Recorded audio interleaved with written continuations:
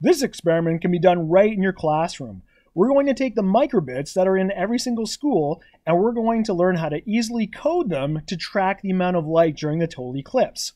These microbits have light sensors in them that can track the amount of light coming into it. So during the eclipse, when it's supposed to get dark, we can use them to track data and see what that looks like later. So let's follow a step-by-step tutorial on how to do that. The first thing you're going to do is you're going to go to www.makecode.com. All the resources are in the Science portal if you need review on how to use a microbit or how to download. When you get here, you're going to want to click on the microbit. And then, because there's nothing here, make sure you sign in. This is going to take you to all your saved programs that you've worked on before.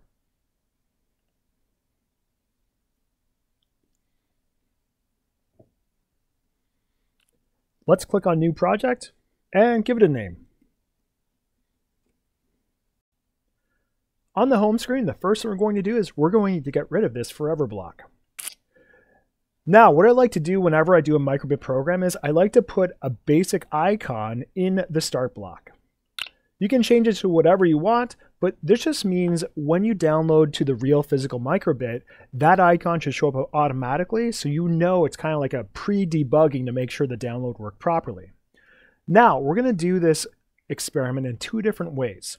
The first one's going to be by a button click. So let's go to our input, and we're just going to grab the on button A.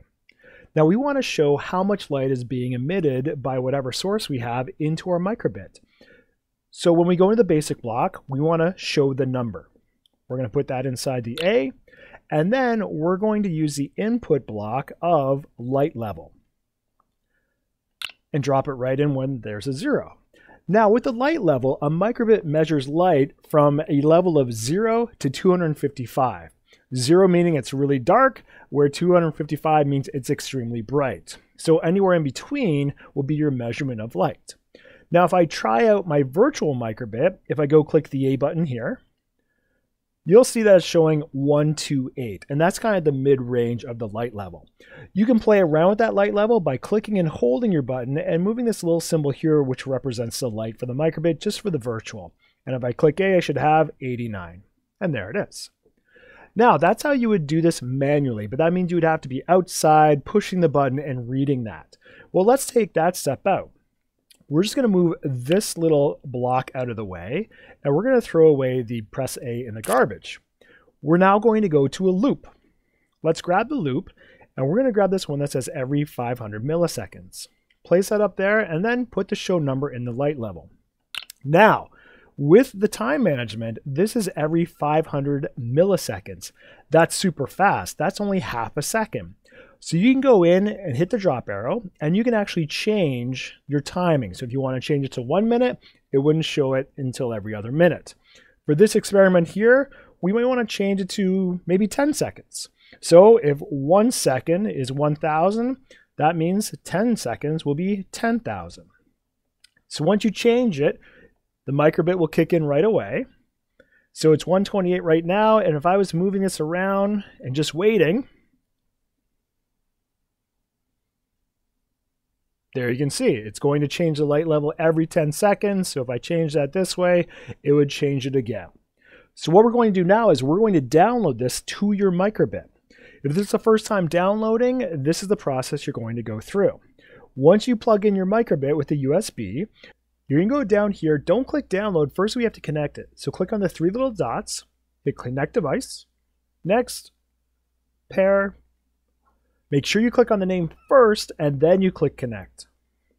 Give it a second. And now you are connected. So we'll hit done. I'm to go in here. I'm going to change this to five seconds just so you can see when I download this to the microbit that when we flip over to the physical one, you can see it go every five seconds. Now that we're all connected, our code is good. We're going to click the download button. It'll download, and now we're going to flip over to the physical one so you can see what that looks like. Here's the physical microbit. Now you can have this either set up with the battery pack or USB power, but obviously when you're outside, you're gonna be using the battery pack. So here you can see it's measuring a light level of zero, but as I bring in a flashlight closer to it, you're gonna notice that it will change what it's reading. So that was 169. If I move my flashlight a little bit more and more, you'll always see a different reading. And as I move it away, it's going to change up. So right now it's about 82. If I take that away, it should register zero again because I'm in the dark. So that's how you can make a light sensor during the solar eclipse. We're going to take it one step further with the next tutorial though, and we're going to actually record all the data. So you don't have to actually be writing down the light levels, it'll record it all for you.